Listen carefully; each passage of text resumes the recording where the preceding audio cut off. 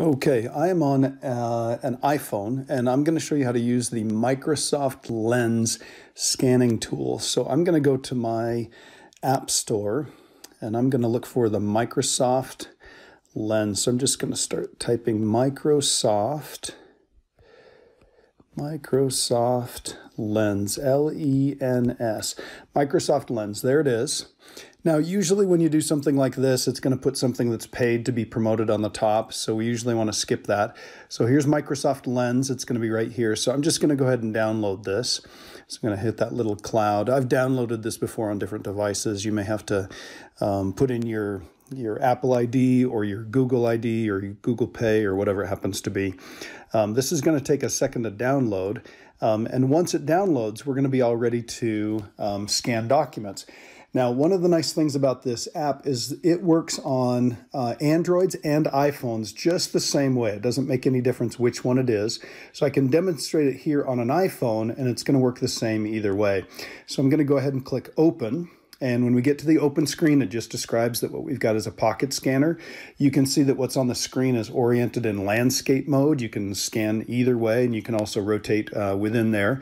It goes through a little thing, how to save and edit, and then save it to different things. This is designed to work really well with, um, with Microsoft products uh, like Microsoft Office um, and their OneDrive and different things like that.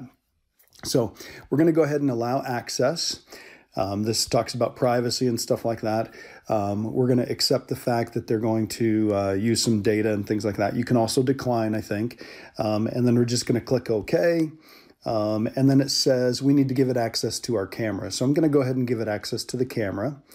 I'm going to click OK, and here we are. I've got a bunch of pictures that I took before, and if you were watching the video that I had, um, you know where those came from. So we've got some options down at the bottom. Now, I actually have a document that I'm going to be scanning in just a second. So what we want to look at is you can scan a whiteboard, you can scan a document, business cards, photos, and different things like that.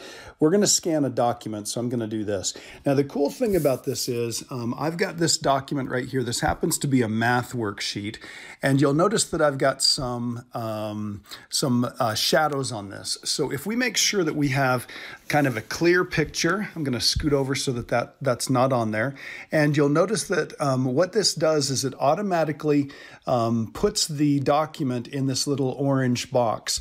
So I'm going to go ahead and capture the document by clicking the button to take a picture.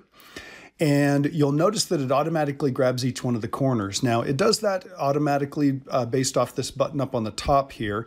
Um, it's slid over. If you want to adjust the edges of the scan, each one separately, you're welcome to do that. But I'm going to go ahead and confirm this. So there's the first one. And notice that it makes it look really nice.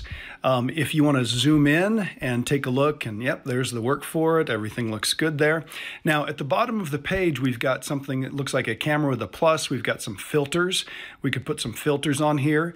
We could go black and white. That looks okay. We could go whiteboard. That actually looks pretty good. This lightens it up just a little bit. Um, I'm going to say we look at none. Um, that black and white one looks pretty darn good. We could go grayscale. I do have a document underneath it, and maybe that wasn't a good idea, but I'm going to go ahead and go with black and white. That looks pretty darn good there.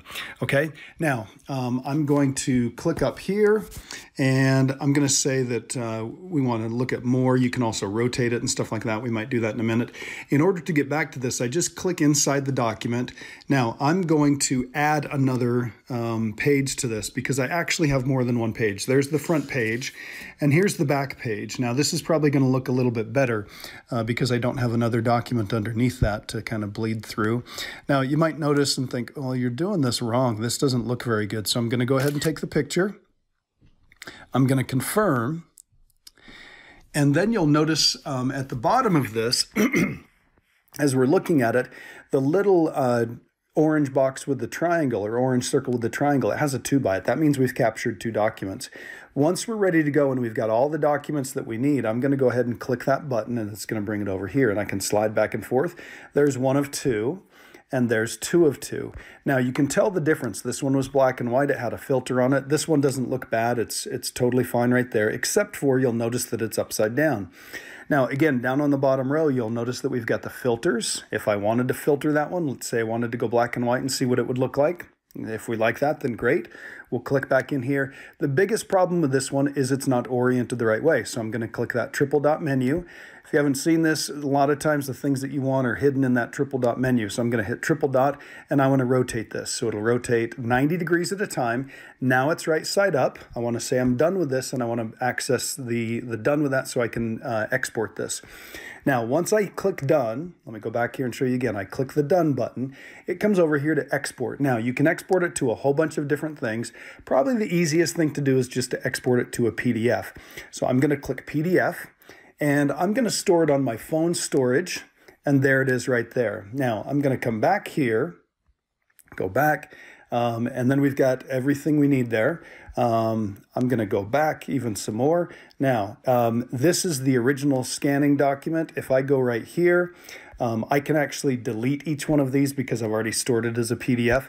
So if I want to delete, delete, and hit delete, so now I have no images stored on this app or anything like that, but I do want to access where are those files. So if I click files, there's that one that I stored before. So if we hit the triple dot menu, it says delete or cancel. So we definitely don't want to delete that. But if you just tap on the document, it's going to take this up to full screen. You can take a look at it one more time, make sure that it looks good. Um, maybe we would have chosen a different filter because this looks a little bit crappy on that one. That one looks pretty darn good, that second page. Um, but the way we export this is we hit the little square with the arrow on it. This is pretty standard. And again, I'm on an iPhone, but Androids are pretty much the same.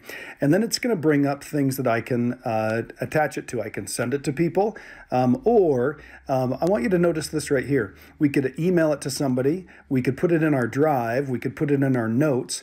There's lots of different things, but here's what we're going to do. Notice that I have um, the student Canvas app installed. So I'm going to click student and I can click, I can make some comments. I can click the course that I want to put it in. I happen to be in two courses right now, so I'm going to do Elkridge Faculty Lounge. And I can click the assignment. There's only one assignment that it's going to let me do that for. And then I'd click submit, and it's already ready to go. Now, I'm not going to submit that because I, I don't want to do that. But I do want to slide down here. You can save it to your files. You could print it. You could do a whole bunch of different stuff. Um, but those are ways that you could get that there. Again, um, uh, we click the, the send arrow. So this is going to be a square with an arrow on it. And I want to do the uh, Canvas student app. And then we just pick the course and pick the assignment that we want to send it to. Um, click that, click submit, make comments, and we're all set to go. That's probably the best place to do it, but there are lots of different places you can store that. But again, it's always stored on your phone. And I'm going to click back here. This is the kind of the home screen here. And to get to the, the files that you've stored, again, triple dot menu up in this upper corner here, we go to files, and then click on that and we're all set to go. All right, hopefully this app really makes scanning documents and making them PDFs um, really easy for you. PDFs are the easiest thing for your teacher to grade and to look at and view in Canvas. Really makes it easy. So if you've got any questions, please make sure you ask your teacher. And other than that, good luck.